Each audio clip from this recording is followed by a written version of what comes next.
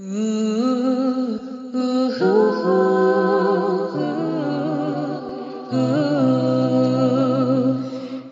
is the grace of God. It is the grace of the Lord. Let's bow our heads and pray. Heavenly Father, we thank you for the day. We thank you for looking out at us every day. Father, open our hearts and minds so that your word will find a place in us and uh, transform us. In Jesus' name we pray. Amen. Hallelujah. Yes, thank you for coming. Uh, today we are looking at uh, living the word. Living the word. And our leading scripture is coming from uh, Matthew 4, verses 1 to 11. That's where we'll get an example that will help to demonstrate and uh, teach us how we should live the word. And uh, let's all open our Bibles uh, to Matthew 4, verse 1 to 11. I'll read that scripture because that's the reading scripture for today. Matthew 4, verse 1 to 11. It says, The temptation of our Jesus Christ. I read. Then Jesus was led by the Spirit into the desert to be tempted by the devil.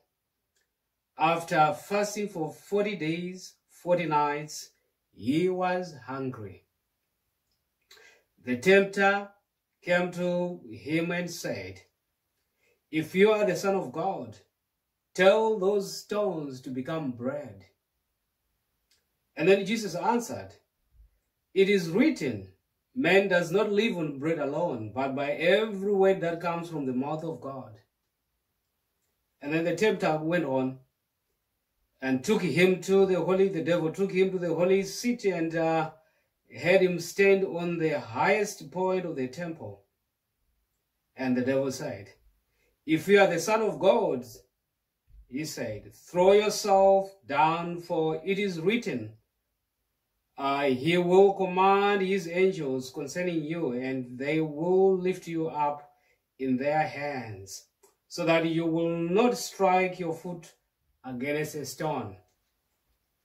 Uh, it goes on, verse uh, 7 says, Jesus answered him and said, It is also written, Do not put the Lord your God into to, to the test. Again, the devil took him to a very mountain, to a high mountain, and showed him all the kingdoms of the world and their splendor. All this I'll give you, he said, if you will bow down and worship me. Jesus said to him, Away from me, Satan, for it is written, Worship the Lord your God and serve him only. Then the devil left him, and the angels came from heaven and attended him. Hallelujah. Praise the Lord. This is the word of God. So, yes, like I said, our, we are looking today at our living the word. And we chose the scripture and an example that will actually teach us how to live the word. And when you live the word, you will be able to actually defend yourself against the enemy, as we shall see when we look at this example. Yes, from that scripture there, we can actually see that uh, the background of it is, it says that the Holy Spirit came and took Jesus away and led him into uh, the fasting that he was doing, day and night, 40 days, and he was led to be tempted by the devil. So this was a deliberate act by the Holy Spirit to actually see how Jesus can withstand the taste of darkness. So from the scripture, we can actually see now there is an ensuing battle that is a battle of wits between two kings or two powers here. The power of darkness, who is the king of darkness or the king of lies, the devil. He is now coming to actually clash with the king of truth, which is Jesus, or the king of light. And as these two forces are coming together, the king of light, who is Jesus, and the king of uh, darkness and lies, who is the devil, they are coming together. And from the scripture, we can see that the king of light, because he's the king of truth, he has always actually withstood the darkness. And uh, we can also see that both of them actually, from the background of this scripture, you can actually see that Jesus, when he was tempted the first time, he quoted the scripture, and then the devil also fought back by also quoting a scripture to Jesus. And then Jesus continued to actually use defense of the scripture as we will look at it. And then we can see both of them, they do know the scripture. But the only difference is the other one is actually he lives in the word, he lives in the light, he lives in the truth. That's why he has managed to actually conquer the devil who lives in the lies, he lives in the darkness. So hence the truth actually conquered. But the funny part is the devil knows the scripture, Jesus knows the scripture, and the difference is the other one doesn't practice, doesn't live the scripture. That is the key difference there. You can know the scripture, but if you don't practice, then you're as good as you don't know it. And then when you see the clashing of the light or the truth and the darkness coming together, you can now see that the darkness is defeated, the truth always prevails because it is the truth. Now, let's look at the three examples that are three attacks that Jesus actually faced when he was led to be tempted. Three attacks from the devil. In all instances, we want to see what is it that he is using to fight against the attack from the devil or the deception from the devil. We go back to the scripture, we look at um, uh, in verse uh, 2, we hear that after fasting for 40 days and 40 nights, he was very hungry. Yes, of course. And then verse 3, the tempter, who is the devil, and I'll say to him, because he, the devil realized and knew Jesus was hungry. Probably at that point in time, you know, when you're hungry, your mind and thoughts sometimes they flash and think about food. So probably that time the devil looked into his mind and realized Jesus was hungry, but he was steadfast on the word. So the devil was trying to see whether if his mind has drifted away from the focus on the, on the word. So then the devil tempted and said, okay, if you are the son of God, tell those stones to become bread. This is in verse 3. The tempter is coming. And then Jesus actually, uh, he pushed back by the word and he said, listen to what he's saying. It is written, man does not live on bread alone, but on every word that comes from the mouth of God. This is a scripture that resonates because we are looking at this scripture, it's in the New Testament, but this is not the first time that we have heard these words. The same scripture, actually, Jesus in this time, he was he was pushing back the devil, standing in Deuteronomy uh, chapter 2, uh, Deuteronomy chapter 8, verse 2 to uh, 3. Let's read and hear what that says so we can see. Jesus is now attacked by the devil in verse 3.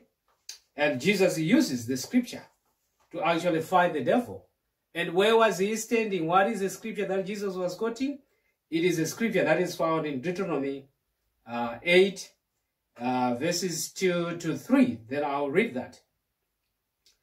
It says, Remember how the Lord your God led you all the way in the desert, and those 40 years to humble, and those, those 40 years, and to humble you and to test you in order to know what was in your heart, whether you or not you would keep his commands. Verse 3 says, He humbled you, causing you to hunger, just like Jesus was, and then feeding you with manna.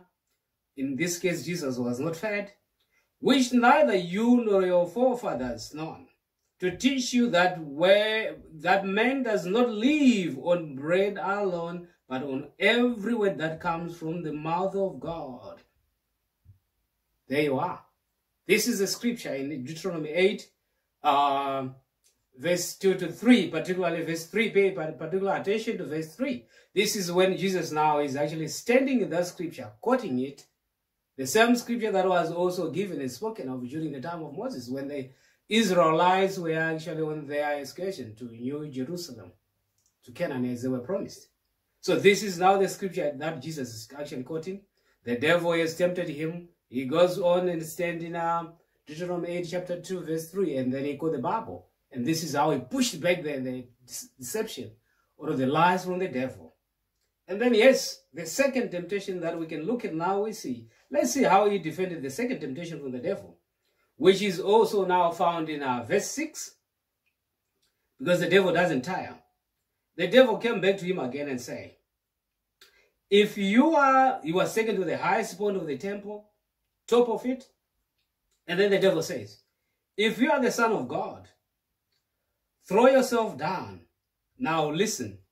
For it is written, this is not Jesus this time. It is the devil who is quoting. Verse 6. If you are the Son of God, he said, throw yourself down.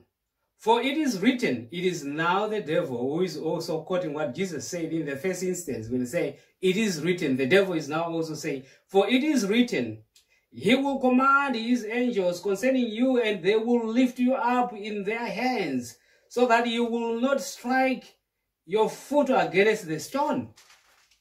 This is now what the angel, the devil was doing. Quoting and just like Jesus said, remember he said, it is written, men shall not live by bread alone. And in the second instance, when he was tempted, the devil actually also said, it is written, and then quoted the scripture there. This is a fascinating battle of wits here. And then Jesus replied to the second temptation by saying, it is also written. you hear?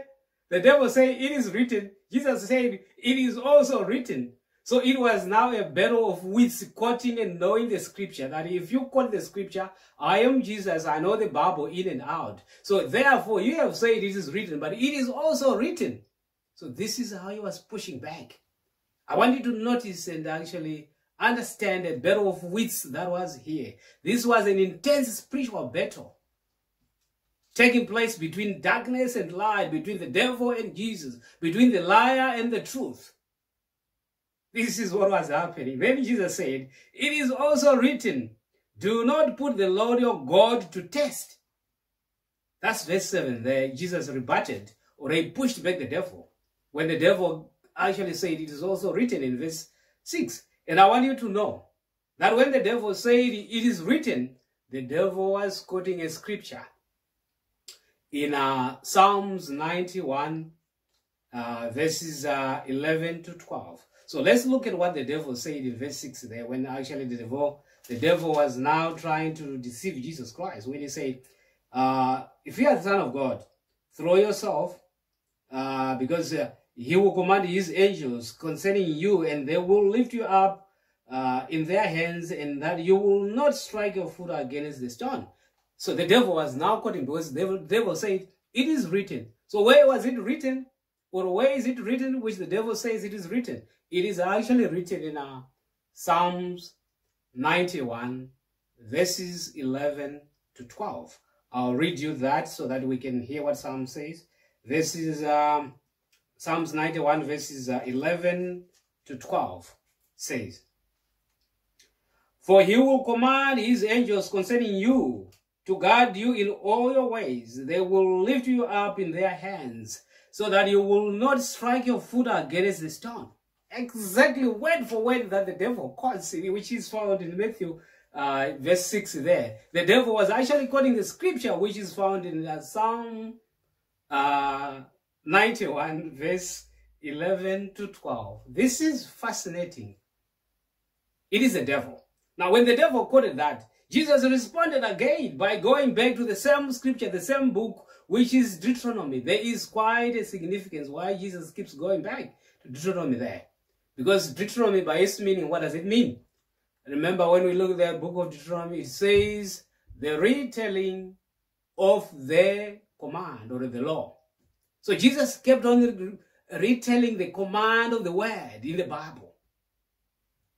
But the devil has actually come up with a scripture in uh, Psalms 91 verses 11 42, which is also repeated in Hebrews um, uh, chapter 1 verse 14 if you read it. It's the same thing. But now let's look at how jesus defended that and pushed back the devil when the devil quoted uh, psalm 91 verses 11 to 14 that it is written.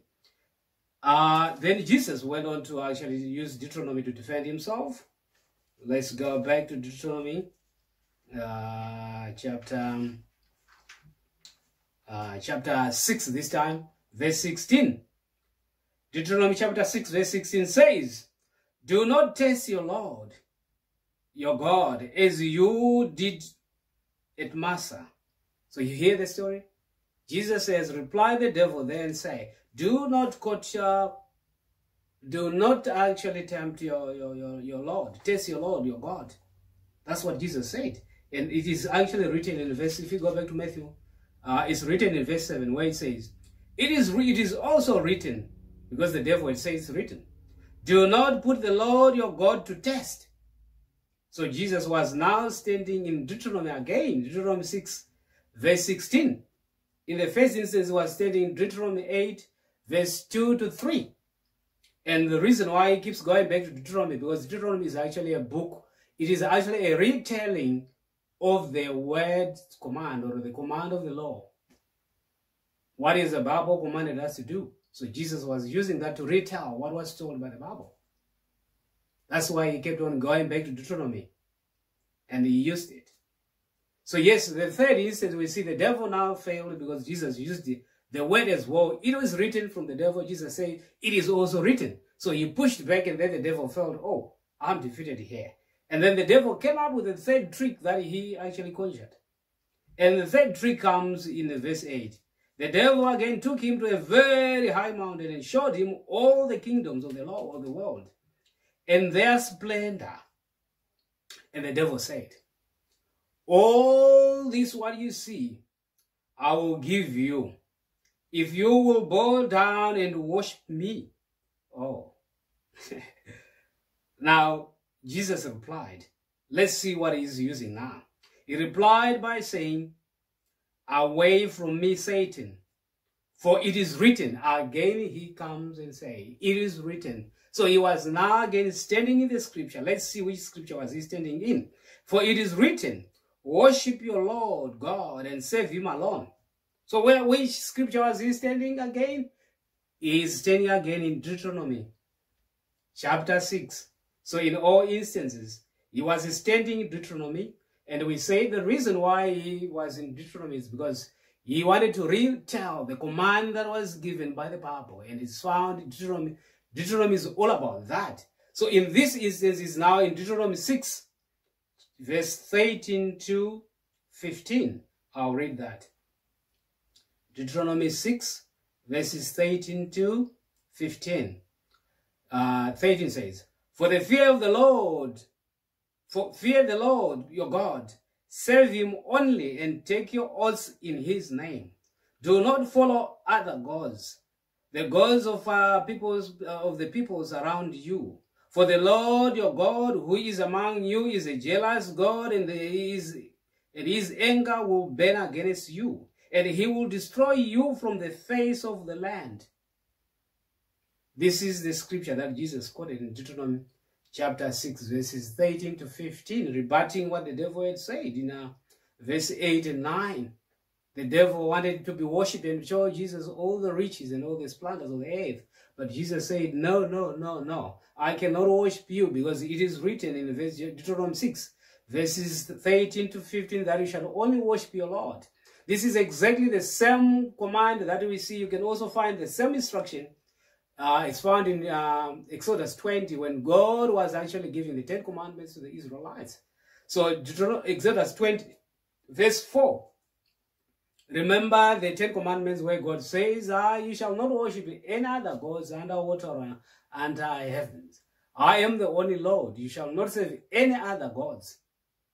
So this is what similar to what Jesus is talking about in Deuteronomy 6 chapter Deuteronomy chapter 6 verse 13 to 15. So yes, this is the fight that we have seen. That's why I'm calling it the battle of the wits here, because you are having to have two giants, the one of the king of darkness and the king of light and truth. It is actually coming together in the clash of the wits. They know all, they both know the scripture. But there is one who stand above the rest because he doesn't only know the scripture, Jesus knows the scripture and he lives the word. He lives the scripture. That's why today our heading say, live the word. You must live the word just like Jesus did because when you live the word, what it means is you will only and only live and follow what the word instructs you to do. In all situations, it means you must seek God's guidance in all situations that we face. This is what Jesus did here. He faced all situations from the devil. The three temptations or the three attacks or the three lies or the three deceptions that came from the devil. In all instances, Jesus was standing in the word. He was standing Deuteronomy. In the first instance was Deuteronomy 8 verse 2 to 3. In the second instance, it was actually Deuteronomy 6 verse 16. In the third instance, he defended himself using Deuteronomy 6 verse 13 to 4 to 15, which is similar also to what is found in Exodus 20 verse 4. The devil actually did something that was fascinating here. Because in the first instance, Jesus said, when he was defending, when he was asked to actually convert stones to bread, Jesus began answering by pushing back by saying, It is written, men shall not live by bread alone. And then the devil realized, okay, he is actually defending me and pushing me back by the scripture. And then the second temptation, when the devil was actually tempting Jesus, which is found in verse 6, the devil now also started by quoting what the Bible said.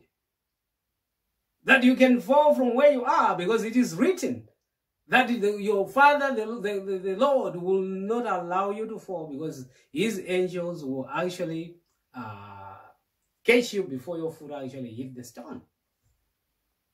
What a fascinating. And when Jesus also saw that the devil has quoted the scripture, he also said, it is also written. You shall only worship your Lord, your God, no one else, by quoting Deuteronomy 6, chapter 16. This is a fascinating encounter of the of light and, and the truth, darkness and light, lies and truth, devil and Jesus. And when we talk of Jesus, we are talking of the truth. He is, John 14, verse 6. I am the light, I'm the way, I'm the truth. This is the truth that now is actually being uh, pushed by the darkness, who is the devil. The king of all lies, the devil. Now, th this is really fascinating. So you must, you must not underplay this example that we have picked because it has actually shown you two giants, a giant in darkness and a giant in truth and light, who is Jesus. You need to know that the devil knows the scripture more than any one of us. The devil knows the scripture more than any one of us. So at any point in time, if you are not alert, the devil will actually twist and use the scripture and use any kind of and twist the truth that you, you, you will be deceived if you don't know the truth. This is what he was trying to do to Jesus Christ. But lucky enough, Jesus is the word himself. He knew the scripture inside out. So he actually rebutted or pushed back by the scripture. When the devil said, it is written, Jesus said, it is also written. So this is what we need to do as apologists. We need to understand the scripture. That's what it means from that example there. So if this is what we have seen here, what are the lessons that we have learned? The biggest and foremost and biggest lesson that we need to know is the devil is always out there to actually deceive us. He's out there to mislead us. He wants us to actually belong to darkness, not in light. So he's always out there to get us by deceiving, by false pretense, by also using words that are not true, by using the scripture itself, try to take us away. Look at what he did to Jesus. He quoted the scripture, the scripture found in Psalm 91 verses 11 to 12. And this is what he was trying to actually mislead Jesus using. So you need to actually know this. That is the biggest lesson Know your scripture very, very well. Because it is not all who quote the scripture. It is not all who read from the Bible like I was doing who will be for the truth. I could be reading from the Bible like I was doing when I represent the devil. So you need to know your scripture very well as a Christian. So that when you see me reading the scripture and I'm telling you, you can also rebut or push me back by a, a, a, a cross-reference scripture that will tell me what I'm doing is not true because it is against the Bible. Because remember, the Bible is very consistent. For this is what we have seen from what Jesus was doing. The devil quoted the scripture, but Jesus showed that the Bible is very consistent. One scripture interpret another scripture. So he went on to actually use a cross reference and said, it is also written. That's what we need to do. And we must also now, how then do we keep ourselves or learn to live in the word? I think that that is the key question I, we need to answer today. So how do we then live in the word just like Jesus did? Because Jesus lived the word. And I say to remember, today we are looking at how you can live the word. You must live in the word. So it's living the word. That's what we are looking at. First, I said you need to know exactly the real word, just like Jesus did, so that you can use it. Because knowing it is not enough. You need to know the word. And when I say live the word, it means more than knowing because you know it and then you'll be practicing. It becomes what you do every day. That's living the word. And this is what Jesus was doing. He was living the word. He knew it, but he was living the word. The devil knew the word, but the devil was not living the word. This is where the difference is. So as a Christian, you must know the word and live it. That means you know the word and act upon the word. That's why in all instances, Jesus kept on going back to Deuteronomy reminding the devil that there is need for me to retell the command. The command from the scripture is you must live the word. You must live the word. You must live in the word. You devil, you are not living in the word. You are a liar. You represent darkness. That's what he did all in all instances. So this is what we need to do. So if we allow us to be on God, to be uh, actually on God, to put the God of the word on us, we will be like Jesus. That's what we need to do. It is imperative. It, is imperative. When something is imperative, it is mandatory. It is a command that you need to know the word of God. When you know the word of God, then you can actually put that God of the word like Jesus did. And then number two, if you want to know how can we then as Christians uh, live the word. Number two, you, you need to actually take heed of what is said in Romans 8, verse 31. We are all reminded that we need to take actually the sword of the Spirit. The sword of the Spirit is actually God's word. This is the spirit that we have seen Jesus using it to actually fight the devil. Each moment devil was coming. Jesus was using the sword of the spirit, which is the word. He would go back to the scripture and quote in all instances. He was using the sword of the spirit. So put the devil to the sword of the spirit of the, the, the, the word of the spirit. Put the devil to the sword of the spirit, which is the word. That's what Jesus was doing. So this is the ammunition that we have. And remember in uh, Ephesians 6, Paul talks of us actually putting the full armor of God. But I'm telling you today, the strongest part of the full armor of God, yes, we have things like faith, faith and all, all things the belt of truth and all that is all rolled in the word because the word of God is the word of truth. So that is the, the, the, the full embodiment of uh, the full armor of God here, what we're talking about. You need the sword of the spirit. That's what Jesus used.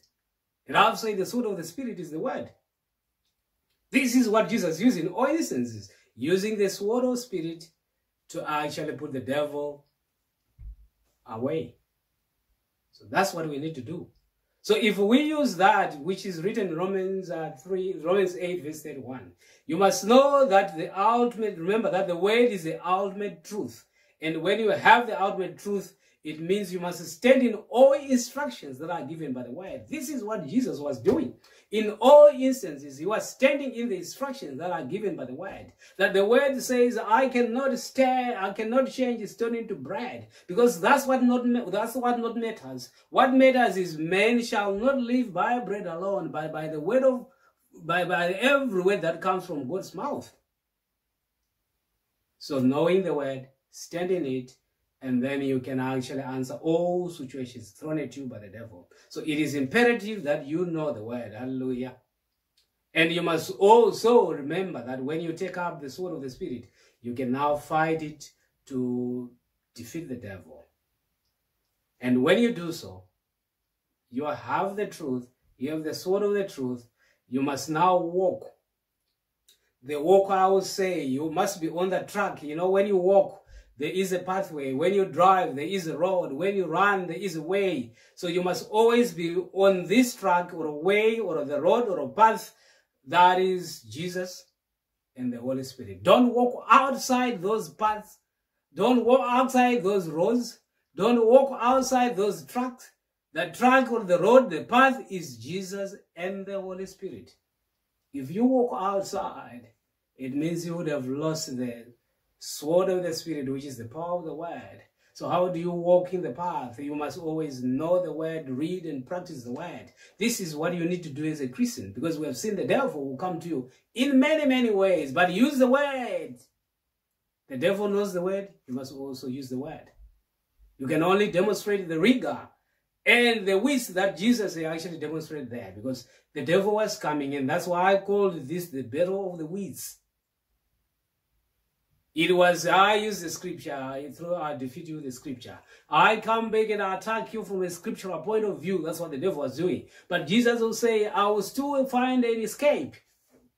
I will still find a shield in the sword of the, the Spirit, which is the word. And I will defeat you because I stand for the truth, the word in me. It is me and I live the word and I stand for the truth, but you stand for the darkness and you stand for all lies, you stand for all deceptions. So therefore the light cannot stand, the, the darkness cannot stand against light. So I will defeat you. And this is how we should defeat the devil all the times. But I say to you, brethren, you need to be very, very careful because the devil knows the scripture more than all of us do. So he will use the scripture like he was doing to Jesus Christ to try and actually deceive you.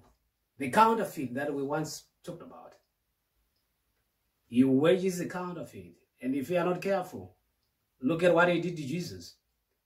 He actually quoted say, if you fall from the highest point way out the temple, God will not let you fall down because he will send his angels. And it is actually written in our uh, Psalms 91 verses 11 to 42. And for your own interest, you must go read also Hebrews 1 verse 14. So yes, in conclusion, all I'm saying to you by today's scripture is if you lack the knowledge and practice of the word of God, you will be defeated by the devil. No, no, no, make no qualms about it. There's no doubt about it you, you lack the knowledge and practice of the word, you're going to be defeated by the devil. The only way that you can conquer is to actually know the, have the knowledge of the word and also practice the word. That's how you're going to live. That's why this is what we call live the word. That's when you actually take up the sword of the spirit, which is the word. That is the only way. Know it, have the knowledge of it, and practice it. That is wisdom.